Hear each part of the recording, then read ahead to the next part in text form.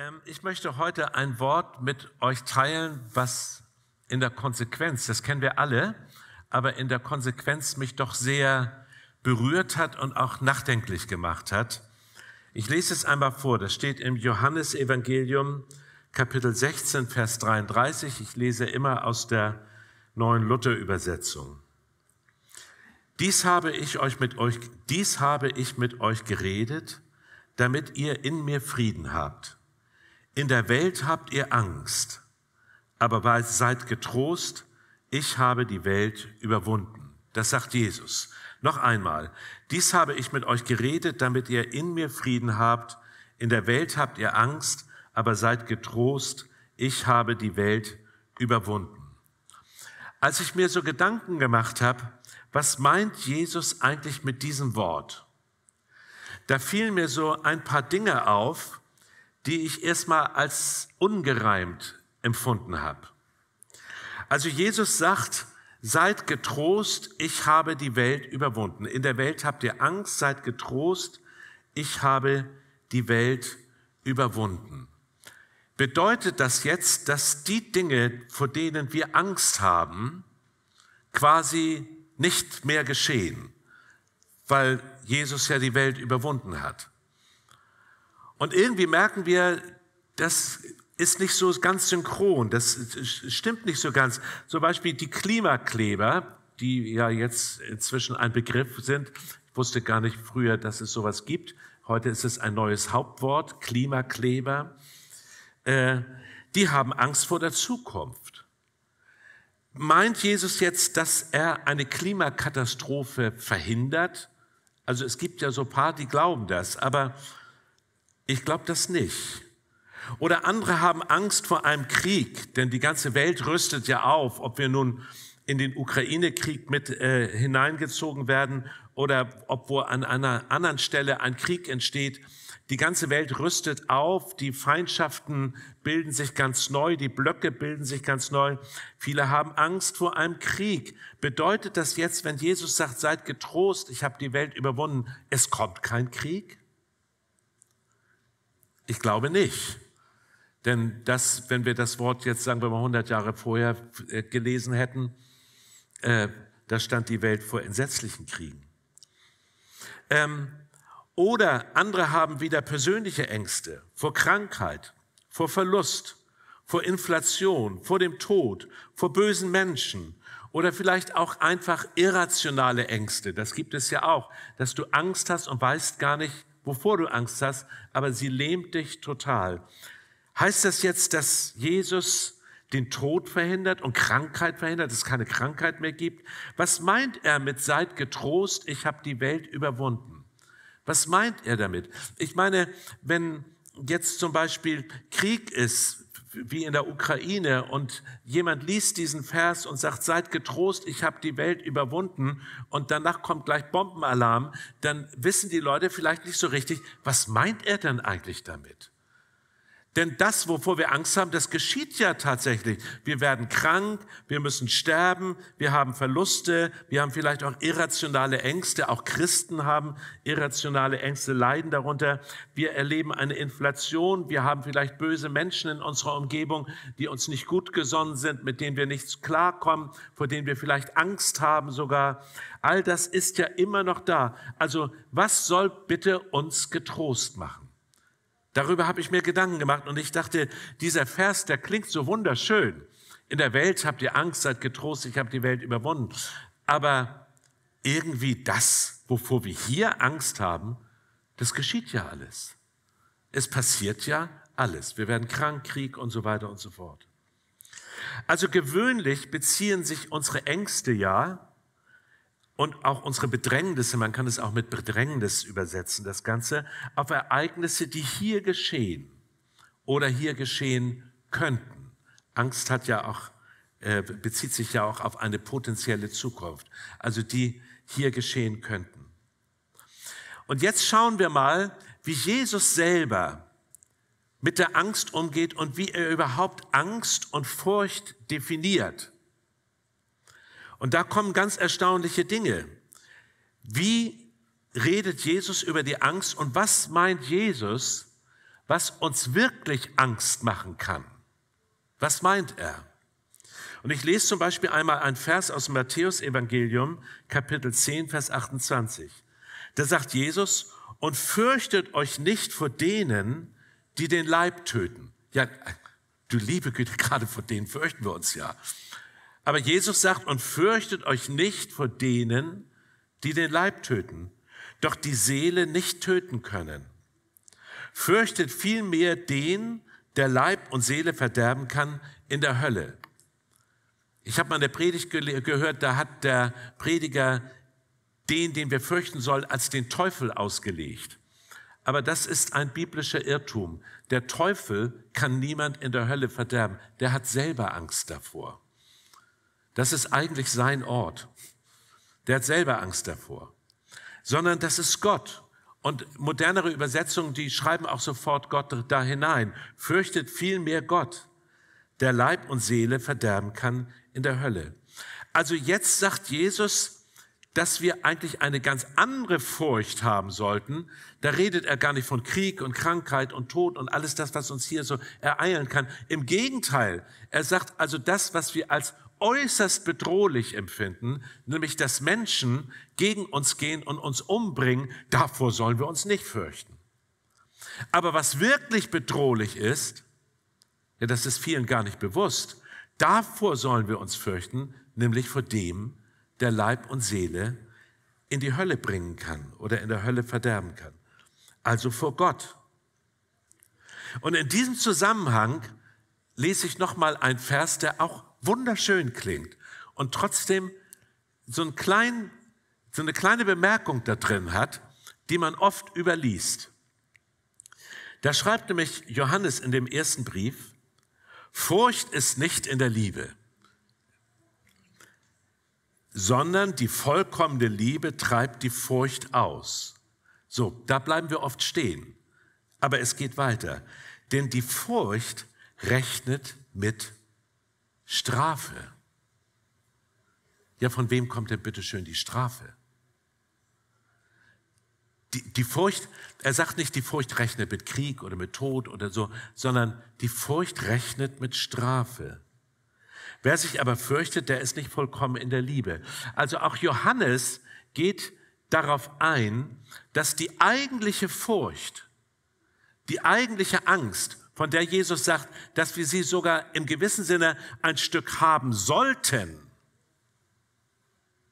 Die Bibel nennt das Gottesfurcht, dass wir diese Furcht haben sollten. Um die geht es hier. Also Furcht ist nicht in der Liebe, das heißt nicht, wenn du dich der Liebe Gottes bewusst bist und Gott liebst, dann musst du weder Tod noch Teufel noch Verfolger noch irgendwas fürchten, nicht mal den Zahnarzt. Äh, aber das sagt er gar nicht. Und davor fürchten wir uns ja normalerweise zumindest auch immer ein bisschen. Also beim Zahnarzt, da habe ich schon Dinge hinter mir gehabt, aber ich habe da immer mir den Psalm 23 aufgesagt, während er da fürchterliche Dinge in meinem Kiefer veranstaltete. Äh, und das half dann doch so ein bisschen. Äh, ein gewissen Maß, gewisses Maß hatte auch die Betäubung, muss ich gestehen. Ähm, aber äh, Jesus redet hier von was anderem. Er redet eigentlich wieder von Gott. Furcht ist nicht in der Liebe. Wir müssen Gott nicht fürchten. Und ich äh, vermute, dass etliche Christen mich jetzt angucken, wieso müssen wir uns überhaupt vor Gott fürchten? Das ist doch der liebe Gott, wir müssen uns doch überhaupt gar nicht fürchten. Also fürchten tun wir uns eigentlich vor den Dingen, die hier jetzt gerade passieren, vor bösen Nachbarn oder was weiß ich, äh, aber doch nicht vor Gott. Das ist doch der liebe Gott. Aber Jesus selber und auch im Johannesevangelium und auch im Matthäusevangelium an anderen Stellen redet eigentlich genau andersrum. Er sagt, wenn wir überhaupt etwas fürchten sollten, vor irgendetwas Angst haben sollten, dann vor Gott. Also mit den Ängsten, die wir hier haben, da geht Jesus wiederum anders um.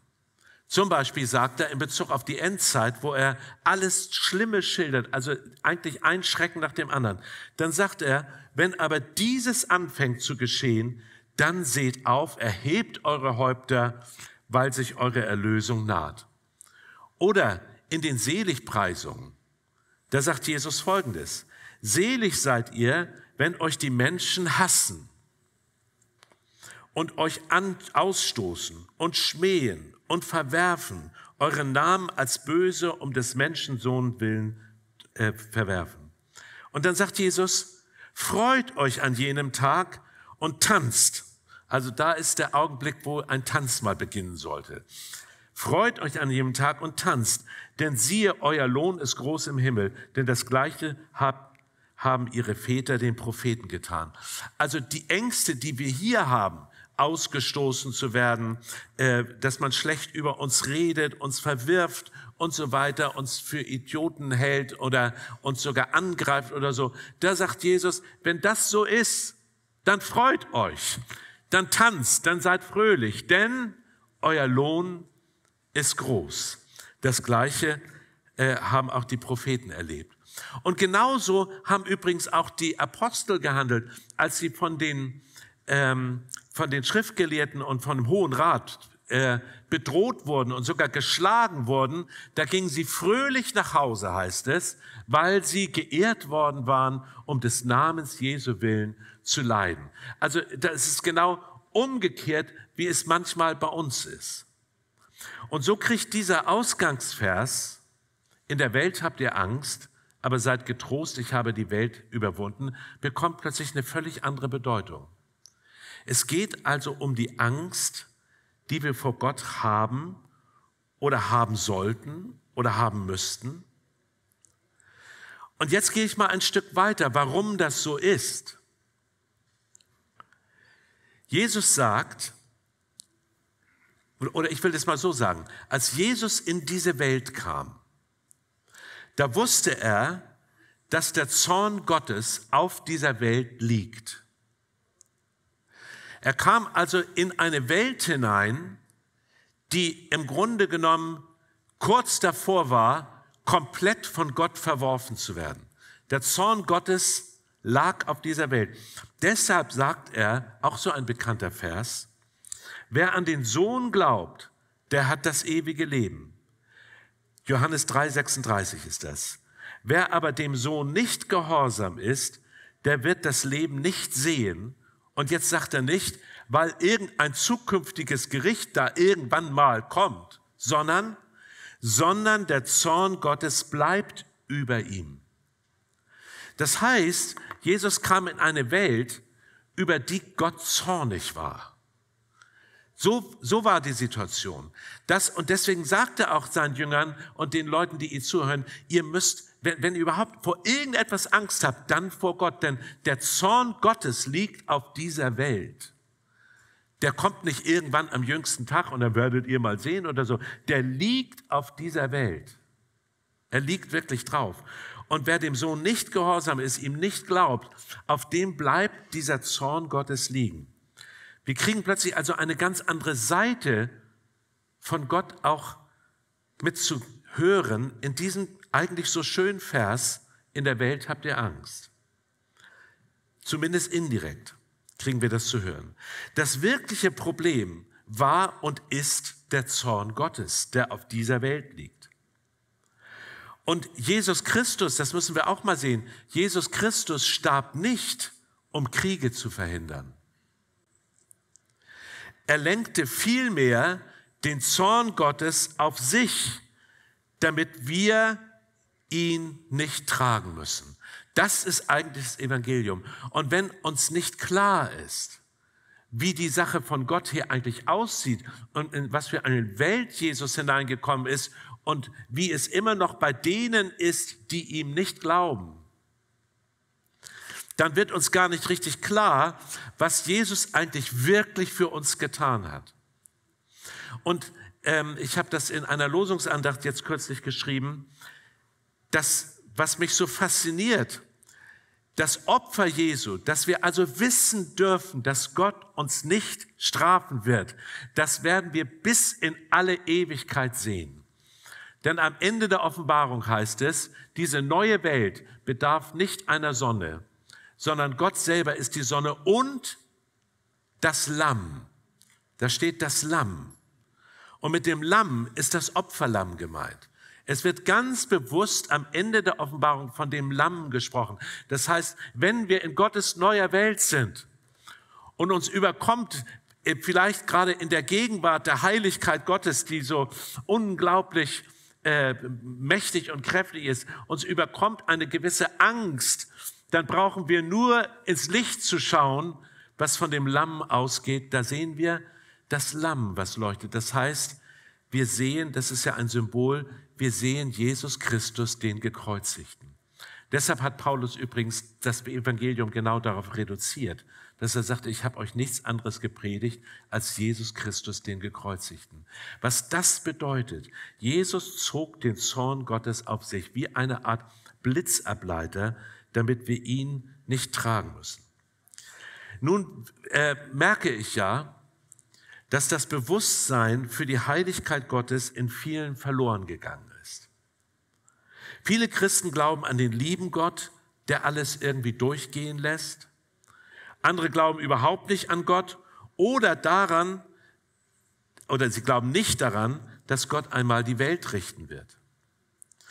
Und weil viele Christen auch gar nicht diese gewisse Ehrfurcht mehr haben vor Gott, dass wir uns eigentlich glücklich preisen können, dass uns jemand erlöst hat dass der Zorn Gottes quasi nicht uns trifft, sondern ihn getroffen hat, wenn uns das nicht bewusst ist oder die Menschen, denen, die überhaupt gar nicht an Gott glauben, dann ist es logischerweise, dass die Ängste sich auf das konzentrieren, was jetzt gerade hier passiert. Ich glaube, was Jesus uns mitteilen möchte, ist, das, was hier passiert, ist schlimm. Und es kann einem auch Angst machen. Aber das, was einem wirklich Angst machen könnte, was viel, viel schlimmer und viel, viel größer ist, das hat er für uns auf sich genommen. Und in, und in diesem Moment erscheinen die Dinge, die dann hier passieren, irgendwo in einem kleineren Licht.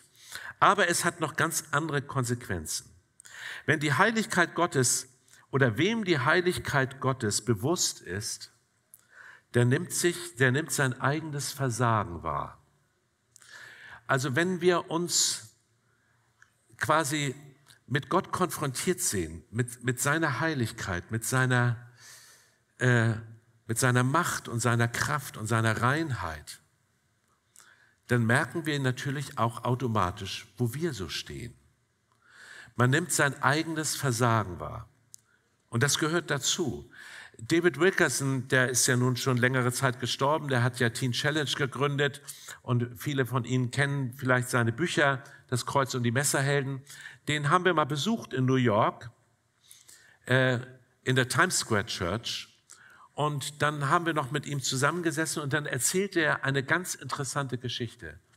Er sagt, als seine Mutter im Sterben lag, eine ganz gläubige, fromme Frau, da bekam sie es plötzlich mit der Angst. Da hat sie ganz große Angst bekommen, dass sie nicht genug für Gott gemacht hat. Da kam ihr plötzlich, sagen wir mal so, das Versagen in ihrem Leben kam ihr plötzlich hoch und die Gnade, auf die sie ja eigentlich ihr Leben lang vertraut hat, die wurde plötzlich in ihrem Inneren klein und es kam diese Angst auf, dass Gott sie doch richten könnte. Vielleicht weil sie sich ihm jetzt näherte, weil sie mehr in seine Nähe kam, weil sie halt sterben musste. Ich weiß noch ganz genau, als ich persönlich mein Leben ganz bewusst in die Hände Gottes gelegt hat, da hatte ich richtig auch ein Stück Angst.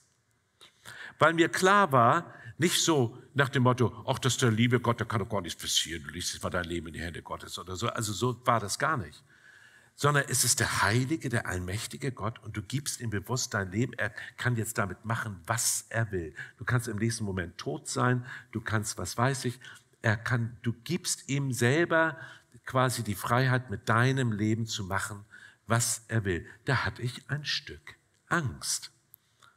Und wie glücklich war ich, als es nicht tat. Aber das, das erlebt man eigentlich nur in der Konfrontation mit Gott, in dem Reden über Gott. Ach, liebe Gott, mach doch nichts und Gott ist doch gnädig und so. Das, das bringt gar nichts, sondern in der Konfrontation. Und diese Frau, die stand nun in ihrem Sterbeprozess kurz davor, vielleicht in ein, zwei, drei, vier Stunden oder nächsten Tag direkt vor Jesus zu stehen. Und selbst als dieser äh, Johannes einmal in einer Vision direkt vor Jesus stand, war das nicht so, ach Jesus, wie schön, dich wiederzusehen, du bist ja so lieb, sondern der sank völlig kraftlos zusammen. Der Herr musste ihn wieder erheben, weil ihm plötzlich die Macht und die Heiligkeit und die Reinheit Gottes vor Augen geführt wurde. Und da merkte er plötzlich, wer bin ich, wie kann ich hier überhaupt bestehen? Aber er konnte bestehen, weil Jesus den Zorn Gottes auf sich gelenkt hat. Darum geht es. Also wenn das so ist, dass Menschen oder dass du vielleicht Angst vor Strafe Gottes hast und merkst, dass du dich immer wieder irgendwo auch verfehlst, versündigst, vielleicht sexuell, vielleicht in Unversöhnlichkeit, vielleicht in deinem Hass, den du innerlich spürst, vielleicht auch in deiner Feigheit, dass du dich nicht bekennst zu Jesus oder in deiner Maßlosigkeit oder vielleicht auch in deiner Gleichgültigkeit Gott, gegenüber und so weiter, wenn dir das bewusst wird und du eine gewisse Furcht und Angst vor Gott hast, dann sage ich dir, hat Jesus eine wunderbare Botschaft für dich. In der Welt habt ihr Angst, aber seid getrost. Ich habe die Welt überwunden. Genau für diese Personen hat Jesus diese Botschaft. Seid getrost, ich habe die Welt überwunden. Und wisst ihr, was ich glaube, wovon Jesus redet? Er redet von der Welt in uns. Ich möchte es einmal vergleichen. Als Gott Israel aus Ägypten rausgeholt hat, also sie aus dem Sklavenhause, aus der Sklaverei rausgeholt hat, befreit hat, da kamen sie ja in die Wüste und waren frei von Ägypten. Sie waren raus aus Ägypten. Aber Ägypten war noch nicht aus ihnen raus. Das war das Problem. Sie waren raus aus Ägypten, aber Ägypten war noch nicht aus ihnen raus, sondern sie waren noch verhaftet in den ganzen Götzenkult und was weiß ich, was da alles war. Und genauso, glaube ich, meint das Jesus auch. Wir sind auf der einen Seite nicht von dieser Welt. Wir sind raus aus der Welt. Wir sind zwar in der Welt, aber irgendwie sind wir nicht von der Welt aber wir sind nicht nur in der Welt, sondern die Welt ist auch noch in uns. Und das ist unser Problem, dass wir versagen, dass wir uns versündigen. Da reden wir nicht gerne drüber, denn ein Christ sündigt ja nicht, also macht es geheim. Aber wir genau, jeder von uns weiß ja genau, wenn in deinem Leben oder in eurem Leben irgendwo ein Stück Gottesfurcht ist, kennt ihr gewiss diesen Moment, dass ihr sagt, Herr, Schon wieder komme ich davon überhaupt nicht los. Schon wieder bitte ich dich um Verzeihung. Es kommt mir schon so vor, als ob ich, äh, als ob ich dich ausnutze. Und dann, dann kriege ich recht ein bisschen Angst. Ich will ja Gott nicht ausnutzen, aber irgendwie diese Welt in uns, die macht Probleme. Und gerade für die Menschen, die in dieser gewissen Furcht und Angst leben, dass Gott doch zornig auf sie sein könnte aufgrund der Dinge, die ihr an euch bemerkt. Gerade für diese Leute hat Jesus eine Botschaft. Seid getrost. Ich habe die Welt überwunden. Dann gibt es natürlich auch noch andere, die halten sich selbst, die sagen, ja, Jesus hat mich gerecht gemacht, wir haben den lieben Gott. Also die, die entdecken so gar keinen Makel an sich. Und die meint Jesus nicht. Die haben keine Angst, obwohl sie Angst haben müssten. Die blenden einfach alles aus. Aber die Menschen, die vor Gott leben in einer gewissen Furcht, in einer gewissen Angst, weil man sich selbst erlebt und weil man selber weiß, was für ein Kaliber man ist, gerade für die hat Jesus eine Botschaft. Ja, da habt ihr Angst. Das, ich weiß auch, was für ein Kaliber ihr seid. Aber ich habe die Welt überwunden. Seid getrost. Nehmen wir mal die Jünger. Die Jünger hatten eine bestimmte Denkweise. Ich fange mal mit Petrus an. Ich lese folgenden Vers mal vor. Da sie nun das Mahl gehalten hatten in Johannes Evangelium Kapitel 21 Vers 15. Da sie nun das Mahl gehalten hatten, spricht Jesus zu Simon Petrus: Simon, Sohn des Johannes, liebst du mich mehr als diese, als mich diese lieb haben? Er spricht zu ihm: Ja, Herr, du weißt, dass ich dich lieb habe. Spricht Jesus zu ihm: Weide meine Lämmer. Wieso vertraut Jesus dem absoluten Versager seine Gemeinde an? Also ich meine, die anderen waren ja weggelaufen, aber Petrus, der hat ja noch so einen auf starken Mann markiert und sagt, ich verlasse dich nie. Und dann hat er das getan, was die anderen, die waren vielleicht feige oder waren weggelaufen, aber was die anderen nicht getan haben, er hat sogar geschworen, Jesus nicht zu kennen. Er hat einen Meineid geleistet. Er hat also sich sowas aus Angst distanziert von Jesus. Er hat absolut versagt. Sein ganzes Weltbild, sein ganzes inneres Bild, seine ganze Stärke brach in einem Moment zusammen. Und danach heißt es ja, er weinte bitterlich. Und dieser Petrus, also dieser Oberversager, der da Dinge von sich, äh, von sich gegeben hat, die überhaupt nicht richtig waren und wo er sich versündigt hatte, wo im Grunde genommen doch dieses Urteil Gottes für ihn gültig werden würde, wer sich nicht zu mir bekennt, zu dem werde auch ich mich nicht bekennen vor den Engeln und vor meinem Vater im Himmel. Genau dieses Wort, vielleicht hatte er das doch im Ohr, das klang da noch und dann ruft Jesus ihn und sagt, du Petrus, also ich möchte, dass du die Gemeinde leitest, dass du meine Schafe weidest. Warum gerade er? Und das ist jetzt ein ganz tiefes Geheimnis, weil Jesus mit denen, die sich ihres Versagens bewusst sind, mehr anfangen kann, als die, die das ausblenden. Und diejenigen, die sich ihres Versagens bewusst sind, sind oft diejenigen, die eine gewisse Furcht auch vor Gott haben. Also merken, dass sie nicht kompatibel sind mit der Reinheit Gottes und sich immer wieder die Frage stellen, wie kann es bloß sein, dass du mich annimmst. Ich meine, ganz lapidar äh, erlebe ich das auch so im Zwischenmenschlichen. Wenn ich mich manchmal vor dem Spiegel sehe, dann sage ich zu Angie, meiner Frau, wie kann es überhaupt sein, dass du mich liebst? Also wenn ich das da sehe, das...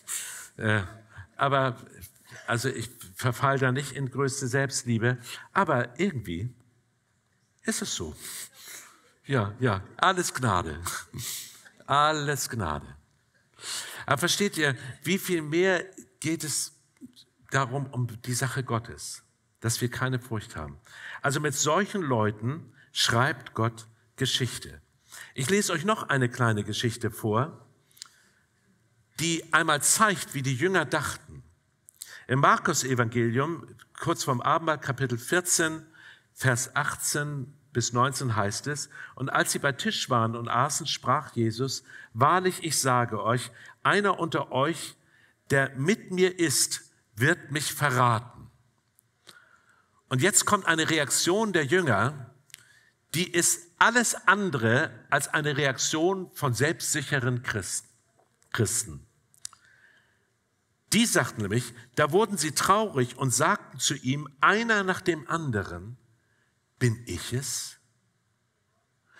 Das heißt, die Jünger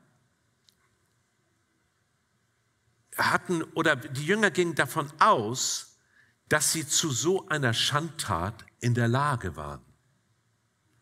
Versteht ihr? Die Jünger waren nicht so selbstsicher. Na, ich doch. Also, lieber Jesus, folge dir doch hier die ganze Zeit nach und du solltest mal froh sein, dass du mich hast oder so. Äh, gar nicht. Sondern sie fragten, bin ich es? Also, die gingen davon aus, dass sie zu jeder bösen Tat fähig waren ist uns das bewusst, dass jeder von uns zu jeder bösen Tat fähig ist? Dass wir absolut abhängig sind von der Gnade Gottes? Dass wir Gott eigentlich fürchten müssen, dass wir, uns, dass wir gar nicht mehr einatmen können vor Angst? und dass wir trotzdem getrost sein dürfen, weil er den Zorn auf sich genommen hat. Das ist das Evangelium und das ist diese, diese Spannung auch, in der wir leben, aber das ist auch die große Freude, in der wir leben. Uns ist bewusst, dass wir aus uns heraus es nicht hinkriegen. Diese Spannung ist eben kaum zu beschreiben, aber das ist unser Leben und das ist im gewissen Sinne auch unser Glück. Also wer für sich selber sagt, Jesus Christus, der gekreuzigte, ach du liebe Güte, das habe ich doch schon die ganze Zeit gehört. Ja, er ist gestorben, wir sind gerecht gesprochen, alles klar. Und jetzt möchte ich mal irgendwie noch schön leben und so ein bisschen. Ich glaube, die Person hat noch gar nicht verstanden, um was es geht. Aber wenn wir in dieser Furcht vor Gott, wenn die in uns hochkommt und dann dieses Wort Jesu dem entgegenkommt, du weißt du, dass du hast recht mit dieser Furcht, aber ich habe es auf mich genommen. Ich bin dein Blitzableiter. Das, was du hier angestellt hast, was du gedacht hast, was du, wie du dich im Inneren entdeckst, das ist wirklich nicht kompatibel mit Gott. Theoretisch würde der Zorn Gottes auf dir liegen, aber sei getrost. Ich habe das überwunden für dich. Wisst ihr, das ist das große Glück im Evangelium. Das ist unsere große Freude. Das ist unsere große Dankbarkeit. Manchmal wird sie ja auch in Liedern hörbar. Kennt ihr dieses Lied? Mir ist Erbarmen widerfahren. Ein so schönes Lied. Und da wird das sichtbar. Erbarmen, dessen ich nicht wert. Das ist die Liebe Gottes. Und diese Liebe Gottes, die treibt unsere Furcht aus. Und morgen kommt sie wieder neu. Und die Liebe kommt wieder neu und treibt sie wieder aus. Und übermorgen kommt sie wieder neu, weil mal wieder irgendwas ist. Und die Liebe kommt wieder neu und treibt sie aus. Und wir leben in dieser ganz tiefen Dankbarkeit, dass obwohl wir so sind, wie wir sind und auch nicht alles einfach so schnell verändert kriegen, wir doch angenommen sind bei Gott. Also in der Welt habt ihr Angst, eigentlich vor Gott aber seid getrost. Ich habe die Welt überwunden. Ist das nicht ein schönes Wort? Ich bete nochmal mit uns. Vater im Himmel, ich danke dir, dass das Evangelium uns ganz, ganz nahe kommt, wenn wir ein Gespür dafür bekommen, wer du bist und wer wir sind. Aber umso näher es deutlich wird, dass wir eigentlich den Zorn verdient hätten, umso mehr freuen wir uns, dass du es auf dich genommen hast, Herr Jesus. Ich danke dir von ganzem Herzen. Herr, und ich kann mir vorstellen, dass wir auf alle Ewigkeit vor dir dankbar leben werden, wenn wir dich sehen und sehen, was du für uns getan hast, sodass wir in dieser Welt Frieden mit Gott haben und in der neuen Welt besonders. Gelobt sei dein Name dafür. In Jesu Namen. Amen.